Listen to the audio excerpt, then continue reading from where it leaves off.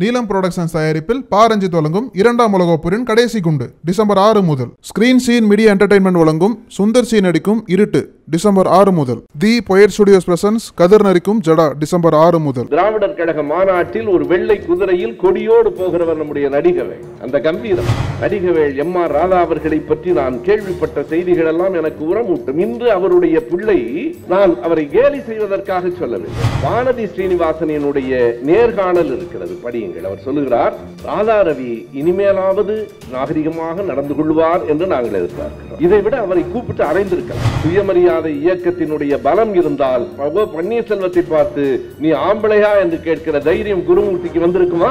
நான் ஆம்பளை இல்ல உற்று. இதனால உனக்கு என்ன பிரச்சனை? அது என் மனைவியோட பிரச்சனை. அது எங்களுக்கு பேரம்பேத்தி வேற பிறந்தாச்சு இனிமே அவருக்கும் பிரச்சனை இல்லை. உனக்கு என்னடா பிரச்சனை இந்த இரண்டு அற்பர்கள் நேற்று பேசிய பேச்சிலே எனக்கு எந்த வருத்தமும் இல்லை. அவர்களிடமிருந்து வேறு ஒன்றையும் எதிர்பார்க்கும் ஆனால் அந்த மேடையில் நம் ஈழத்து கவிஞர் காசி ஆனந்தன் அமர்ந்திருந்தாரே அது எனக்கு வருத்தம் வேதனை அவமானம். எந்த தமிழனை பேசினாலும் எங்களுக்கு கோபம் வரும் ஓபிஎஸ்க்கு வருகிறதோ இல்லையோ எனக்கு வந்து தொலையும். அதுதான் அடிப்படை. குருமூர்த்திக்கு என்ன என்ன தகுதி இருக்கிறது நீ பேசுவதற்கு? திராவிடர் கழகம் இல்லை என்றால் கருப்பு சட்டை இல்லை என்றால் பெரியார் திடல் இல்லை என்றால் காசி ஆனந்தனை தமிழகம் அறிந்திருக்குமா என்பதை காசி ஆனந்தன் அவர்கள் எண்ணி பார்க்க வேண்டும். அந்த கோபத்திலும் வேதனையிலும் சொல்லுகிறேன். அவர் பேசுகிறார் அந்த அவ்வளவு பெரிய கட்சி ரெண்டு கார் வைத்திருக்கிறத பெருமையா சொல்ற ஒரே மனுஷன் இவரை தான் இருக்க முடியும். கட்சிக்கு இரண்டு கார் இருக்கிறாரு உங்களுக்கு இருக்கான்னு கேட்டேன். இல்லை எனக்கு கார் இல்லைன்னாரு நான் உண்மையாய் சொல்லுகிறேன். கூட்டம் முடிந்து என் காரில் ஏறுவதற்கு எனக்கு கூச்சமாக திராவிட இயக்கமும் பொது உடைமை இயக்கமும் அம்பேத்கர் இயக்கமும் இந்த மண்ணுக்காகவும் மக்களுக்காகவும் உழைத்த இயக்கங்கள்.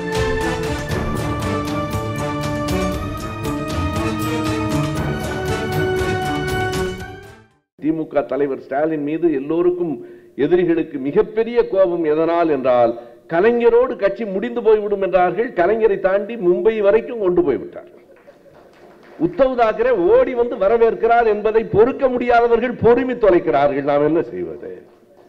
ஆசிரியர் பெண்களுக்கான கல்லூரி ஆசிரியரின் காலத்தில் தொடங்கப்பட்டது. ஆசிரியரின் காலத்தினுடைய பட்டியல் சாதனை என்ன என்பதல்ல. இவர்கள் எல்லோரும் இன்றைக்கும் இந்த இயக்கத்தால் நாம் சுயமரியாதை பெற்றோம் என்பதை மறந்து போகிறார்கள். இந்த இயக்கத்தால் சுயமரியாதை பெற்றோம் என்று அறியாதவர்கள் இன்றைக்கு அவமரியாதைக்கு உள்ளாகிறார்கள்.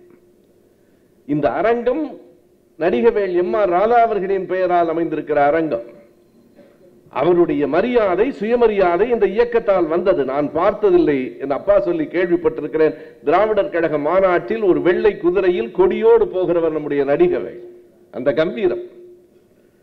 சில வேளைகளில் சில காட்சிகள் சில பாடல்கள் நமக்கு உணர்வூட்டும் உரமூட்டும். இந்த காலையிலே நெய்வேலியில் ஒரு சிறுபான்மையினர் இல்ல திருமணத்திற்கு நான் போயிருந்தேன். அவர்கள் மதம் சார்ந்த பாடலை பாடிக்கொண்டிருந்தார்கள் நண்பர்களே. என்னை பார்த்தவுடன் அந்த பாடகர் அடுத்த பாடலை சொல்லுகிறார். ஐயா சுபவி வந்திருக்கிறார். எனவே ஒரு பாடல் அவருக்காக. எனக்காக என்ன பாடல்? என்று நான் எண்ணி பார்த்தேன். ஓடி வருகிறான் உதயசூரியன் என்று பாடுகிறார். அது இஸ்லாமியர் வீட்டு திருமணம். ஓடி வருகிறான் உதயசூரியன் என்கிற பாட்டை கேட்கிற போது எந்த பாட்டு என் நரம்புகளுக்கு சின்ன வயதில் முறுக்கேற்றியதோ அந்த பாட்டை கேட்கிற போது மறுபடியும் எனக்கு வயது குறைந்து போகிறது.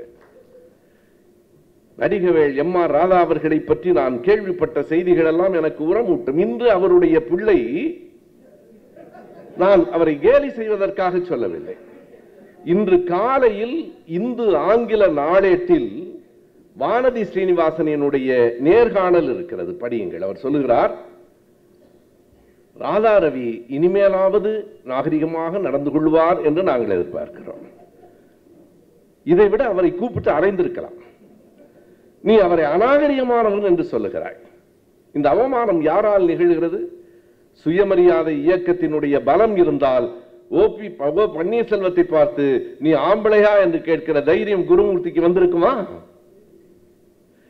எனக்கு அந்த கேள்வியில் எப்போதும் கவலை இல்லை. நீ அறிவாளியா என்று கேட்டால் தான் கோவப்பட வேண்டும். நான் ஒரு முறை மும்பை போயிருக்கிற போது என்னிடத்தில் ஒருவன் கேட்டான். அந்த எழுத்து மூலமாக எழுத்து மூலமாக கேள்விகளை கேள் என்று சொல்லிக் கொடுத்ததே இந்த அரங்கம் தான் என்ன கேள்வி என்றால் என் அருமை நண்பர் சமீரா மீரான் அவர்கள் இருந்தபோது நடத்திய அந்த கருத்தரங்கம். திராவிட இயக்கம் பற்றி பேசுகிறாயே உனக்கு ஆண்மை இருந்தால் நீ ஆம்பளையாக இருந்தால் திராவிட இயக்கத்தை உன்னால் விளக்கி பேச முடியுமா? நான் கேட்டேன் இதற்கும் ஆண்மைக்கு என்ன தொடர்பு இன்னொன்றையும் சொன்னேன். சரி நான் ஆம்பளை இல்லை உனக்கு என்ன பிரச்சனைன்னு கேட்டேன். நான் ஆம்பளை இல்லை உற்று. இதனால உனக்கு என்ன பிரச்சனை? அது என் மனைவியோட பிரச்சனை. அது எங்களுக்கு பேரம்பேத்தி வேற பிறந்தாச்சு இனிமே அவருக்கும் பிரச்சனை இல்லை உனக்கு என்னடா பிரச்சனைன்னு கேட்டேன். அந்த கேள்வியே ஏன் நான் அப்படி சொல்லுகிறேன் என்றால் ஆணாய் இருப்பது பெருமை என்றோ பெண்ணாய் இருப்பது இழிவென்றோ கருதாத கருப்பு சட்டைக்காரன் நான் என்பதால் சொல்லுகிறேன். இப்ப ஆம்பளை இல்லைன்னா என்ன பிரச்சனை? ஆண் என்று நான் ஆண் என்று சொல்லிக் கொள்வது ஒரு பெருமை என்று கருதுகிற நீ நண்பர் திருமாவளவனுக்கு ஒரு மடிசார் சேலை நீ சேலைன்னாவது சொல்லணும்ல. அது என்னடா மடிசார் சேலைங்கிற மடிசார் சேலையை நீ கொடுக்கிறாய் என்றால் திருமாவளவனை அவமானப்படுத்தவில்லை. மடிசார் கட்டுகிற பெண்கள் அத்தனை பேரையும் நீ அவமானப்படுத்துகிறாய் என்று பொருள்.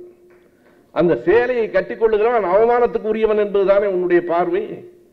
எனவே சுயமரியாதை இயக்கத்தின் பெருமை அறியாதவர்கள் அவமரியாதைக்கு உள்ளாகிறார்கள் என்பதற்காக சொல்லுகிறேன். எனக்கு மிகப்பெரிய வருத்தம் இந்த இரண்டு அற்பர்கள் நேற்று பேசிய பேச்சில் எனக்கு எந்த வருத்தமும் இல்லை. அவர்களிடமிருந்து வேறு ஒன்றையும் எதிர்பார்க்க முடியாது.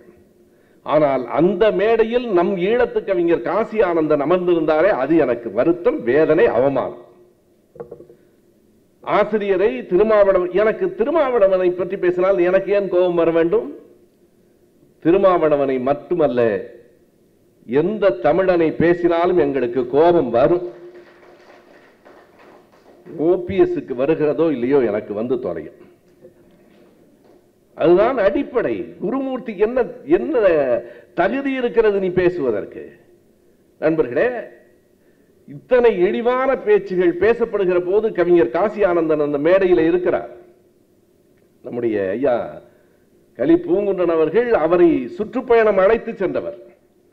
திராவிடர் கழகம் இல்லை என்றால் கருப்பு சட்டை இல்லை என்றால் பெரியார் திடல் இல்லை என்றால் காசி ஆனந்தனை தமிழகம் அறிந்திருக்குமா என்பதை காசி ஆனந்தன் அவர்கள் எண்ணி பார்க்க வேண்டும். நான் வெளிப்படையாக சொல்லுகிறேன். நான் அவரை மிகவும் மதித்தவன் அந்த கோபத்திலும் வேதனையிலும் சொல்லுகிறேன். அவர் பேசுகிறார் உடல் முழுவதும் காவி உடை அணிந்திருந்த குன்றக்குடி அடிகளாரை ஏற்றுக்கொண்டீர்களே தோளில் மட்டும் காவி துண்டு போட்டிருக்கிற அர்ஜுன் சம்பத்தை ஏற்கக்கூடாதா? என்று கேட்கிறார். அடிகளார் ஒரு மிகப்பெரிய அறிவாளி. அவர் இறந்து போய் இருபத்தைந்து ஆண்டுகளுக்கு பிறகு அவருக்கு இப்படி ஒரு அவமானம் நேர்கிறதே. அடிகளாரை யாரோடு ஒப்பிடுகிறீர்கள்? அடிகளாரின் அறிவு என்ன? அடிகளாரின் படிப்பு என்ன? எங்கள் ஐயா பெரியார் மதித்த அறிவாளி அடிகளார். அவரை கொண்டு வந்து நீங்கள் யாரோடு ஒப்பிட்டு பேசுகிறீர்கள்? எனவே இந்த தமிழர்களுக்காக இன்னமும் எவ்வளவு நாம் அவமானப்பட வேண்டியிருக்கிறது என்பதை நான் சொல்லுகிறேன். அவர்கள் அவமானத்தை பற்றி கவலைப்படவில்லை. நாம் இன்னமும் அதற்கு தயாராக இருக்கிறோம் என்பதுதானே ஆசிரியர் பிறந்த நாளில் ஒவ்வொருவரும் ஏற்றுக்கொள்ள வேண்டிய ஒரு செய்தி. எண்பத்தி ஏழு வயது என்று சொல்லுகிறோம். இன்னமும் எழுதுகிறார். இன்னமும் படிக்கிறார். இன்னமும் பேசுகிறார். இன்னமும் இயங்குகிறார். இன்னமும் நமக்கெல்லாம் தலைவராக இருக்கிறார். அதுதான் அவருக்கான தகுதி. எத்தனை துயரங்கள் எத்தனை முறை தாக்குதல்கள் தம்பம்பட்டியிலே தாக்கப்பட்டதை இந்த புத்தகத்தில் எழுதியிருக்கிறார். ராஜபாளையத்துக்கு பக்கத்தில் அவரை தாக்குவதற்கு ஆள் அனுப்பியவர் யார்? பார்ப்பனர் இல்லை. தமிழனாய் பிறந்த தாமரை கனிதான். ஆசிரியரை தாக்கினார்களா இல்லையா? கருப்பு திராவிடர் கழக கொடியை காட்டுகிற போது தொண்டர்கள் காத்திருக்கிறார்கள் திமுக கழக கொடி. தொண்டர்கள் காத்திருக்கிறார்கள் என்று காரை விட்டு இறங்கி ஆசிரியரை தாக்கினார்கள். மிக அண்மையில் இந்த கடந்த தேர்தலில் திருச்சிக்கு அருகில் ஸ்ரீரங்கத்தில் நினைக்கிறேன் மிகப்பெரிய தாக்குதல் தலைவரின் மீது நடைபெற்றது. இத்தனை தாக்குதல்களையும் தாங்கிக் கொண்டு ஒரு நாள் கூட அவர் அந்த துயரத்தை வெளிப்படுத்தியதே நேற்றைக்கு பேசியவர்கள் நம்மை பற்றி மட்டுமில்லை. தோழர் முத்தரசன் அவர்களின் கட்சியை பற்றியும் பேசினார்கள். உங்களுக்கும் ஒரு பங்கு இருக்கு. நீங்களும் சரியாக இருக்கிறீர்கள் திரும்ப திரும்ப என்ன சொல்லுகிறார்கள்? திமுகவிடம் இரண்டு கம்யூனிஸ்ட் கட்சியும் 25 கோடி வாங்கிக் கொண்டார்கள். வெள்ளை பணம் தானே வாங்கினார்கள்? நேரடியாக கணக்கு கொடுத்து தானே வாங்கினார்கள்?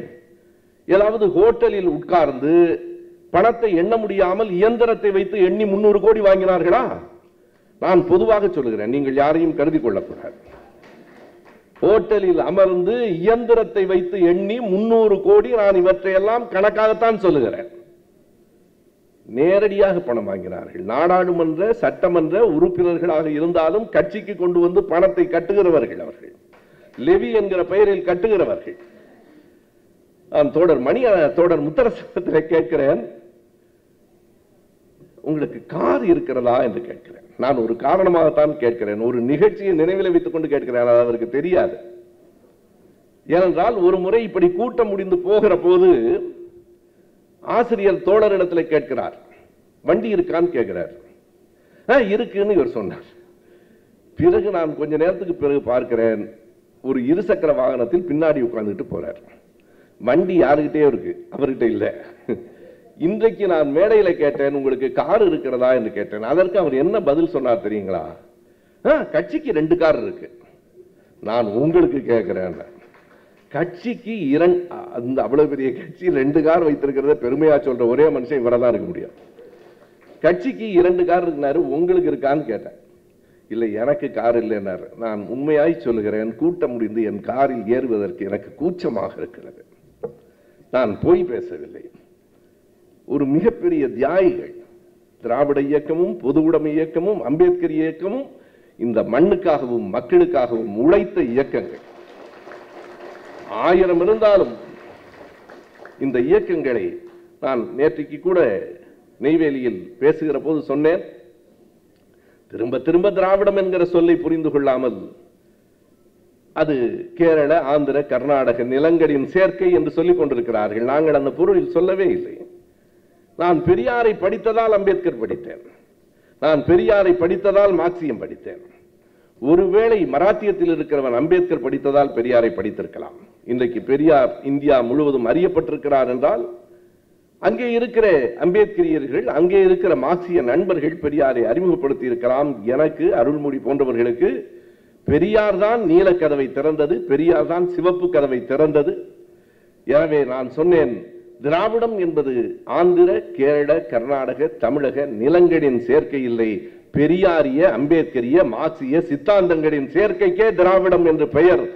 அந்த திராவிட இயக்கத்தை இன்றும் நின்று நிலைப்பதற்கு நிலையாட்டுவதற்கு இந்த இயக்கத்தை இன்னமும் இத்தனை வலிமையாக நடத்தி கொண்டிருக்கிற. ஆசிரியருக்கு அவருடைய பிறந்த நாடில் வாழ்த்துகள் இல்லை. நம் நன்றி நன்றி நன்றி. வணக்கம். இந்திரா ப்ராஜெக்ட்ஸ் உங்கள் கனவு எங்கள் லட்சியம்.